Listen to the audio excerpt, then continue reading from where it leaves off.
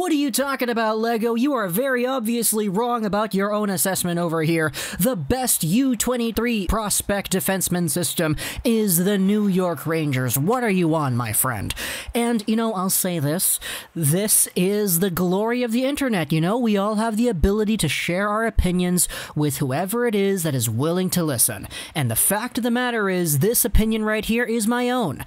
That the Ottawa Senators, when it comes to U25 defensemen, out of all the NHL teams, have the best system. That's prospects and players on the team already combined together for one package. Yeah, the Ottawa Senators are, in my opinion, the team that has the best future when it comes to their blue line in the National Hockey League. And the New York Rangers are probably up there as a close second, but at the end of the day, we're talking about Ottawa here because, hey, why not? Let's talk today about some of the Ottawa defenseman prospects and young guys that are already on the team because when it comes to the overall long term projectability of the Ottawa Senators blue line, I think this team is in a very, very good spot.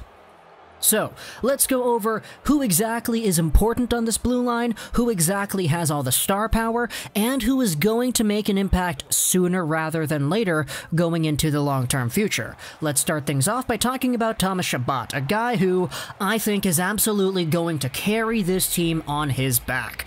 Now, Thomas Chabot, the only difference between him and all the other guys that we're going to be talking about is he is a little bit older than the rest. He was drafted in 2015, making him 23 years old.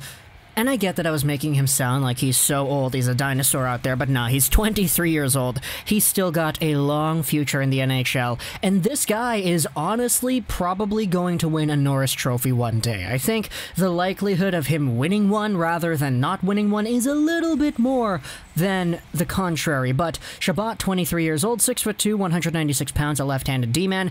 If you're a Senators fan, you know exactly what you're getting out of Thomas Chabot. He signed until 2028 at $8 million a season for a reason. The guy's coming off of a year where he had 39 points in 71 games. The year before that, though, saw him get 55 in 70. He was only 21 when that happened.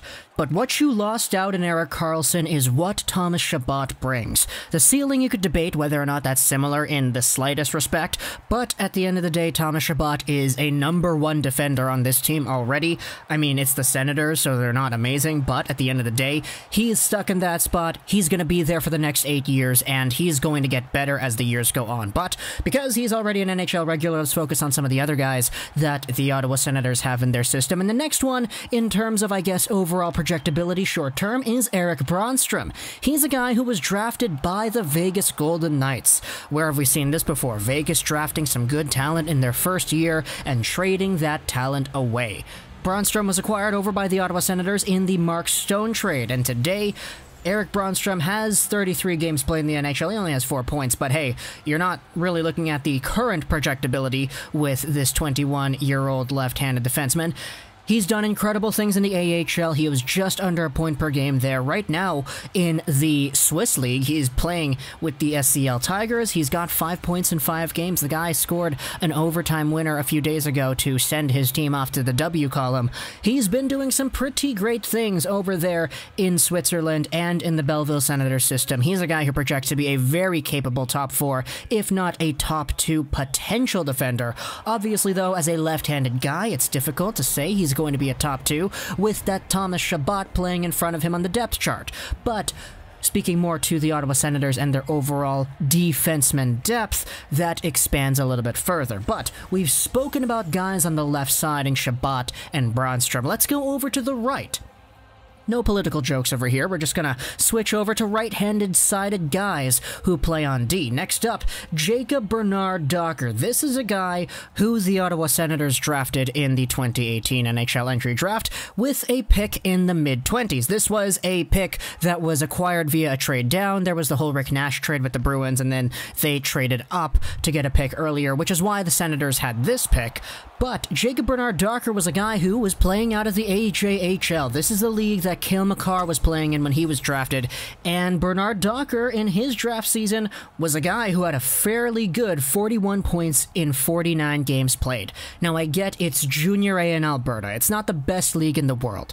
But Give it two years, and all of a sudden, this guy's playing at the University of North Dakota, had 25 points in 32 games played, was suiting up for Team Canada at the World Juniors, and now is going back over to UND for his junior year as an alternate captain. And we will be seeing what exactly it is Bernard Docker can bring to the table going into the long term future.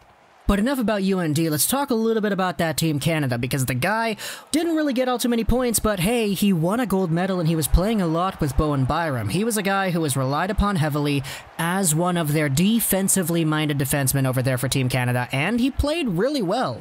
Sure, the points didn't come, but he was solid. And as a guy who is indeed a two way defender at heart, a guy who can really put up the points when he wants to, which has been exhibited in his NCAA play as probably the best defenseman on UND. And a guy who can still play in his own zone too, very capable of calming down the play, breaking up cycles, and defensively shutting things down. You know, it's a very good combination of skills to have. Jacob Bernard Docker definitely is a guy who was drafted out of the AJHL, was never really supposed to be this good, but my gosh, the Ottawa Senators have themselves a guy who definitely may be able to crack a top four spot on the right side for the Senators long term into the future. But sticking back to UND, there's another guy who is playing for the University of North Dakota that the Ottawa Senators do indeed have. He is the most recent draft pick, Jake Sanderson. And my gosh, you want me to talk about Jake Sanderson? We can definitely talk about Jake Sanderson. The problem with him is that we don't really know where he's going to play in the lineup long term. I mean, he's a left handed D man. He has top two potential, in my opinion, but what are you going to do when you're playing behind Thomas Chabot and Erik Brannstrom, Two guys who definitely do have the ability to match that ceiling, in my opinion. You could say what you want about whether or not the likelihood is there, but my gosh, there's so much talent on this left side of the blue line that you're going to have a very tough time playing against the Senators team that has all those guys, Brannstrom, Chabot, and Sanderson, rolling out one after the other on the left side. You want an extended look at Sanderson? We spoke about him in a video a few weeks ago before the draft, talking about the idea of the Ottawa Senators taking him fifth overall. But at the end of the day, he's going over to North Dakota. Who knows if he plays with Jacob Bernard Docker? I don't really expect it, but who knows? He's a guy who definitely does like everything in the game right. Point production is probably his only flaw. He doesn't really score as much as a Jamie Drysdale does, but everything else consistency, work ethic, skating he is elite at a lot of these aspects, and he is such a talented guy that I think it's going to be so difficult to pin out who is going to be the best left handed D man on the Senators long term. If I had to pick just based off of my gut right now, I would say that Brannstrom is probably last. But I love Erik Brannstrom, and this guy is so talented. It really does hurt to say that he could potentially be last in a qualification that we're putting up for him. But finally, though, we are speaking about one more right side defender. So we've spoken about three lefties and one righty so far. One more righty is on the chopping block here. We've got ourselves Lassi Thomson, the first round pick of the Sens from last year. Now, I will say, I was surprised to see Lassi Thomson go that early in the draft, but as a guy who did make a prospect profile video on on Lassi Thomson, I could understand the appeal. He was a guy who, in my opinion, had the best shot out of all defenders in the 2019 NHL entry draft. His overall ability to just drive the puck to the goal, spectacular. Now, he did have a few other issues. There were some defensive inconsistencies and all that stuff, but he has gone over to Finland to iron out those qualities. Right now, he's playing for Ilves. He's got two points in 10 games played last season. He had 13 points in 39 games played. He's a guy who, to me, has a lot of really raw offensive tools and an overall skill set that would allow him to play in the NHL. It's just the overall commitment, the consistency, and a constant stream of effective work ethic that holds him back from being the best version of himself. If he is able to be in a position where he can utilize his strengths, be in a position to get engaged in the play and keep at it, I think what you have is a very good potential power play quarterback, and that's on a team that already has Chabot and Bernard Docker and Erik Brannstrom. Out of all these guys, I would probably say that Lassi Thomson is the wild card, but he still is a very legit NHL caliber prospect nonetheless.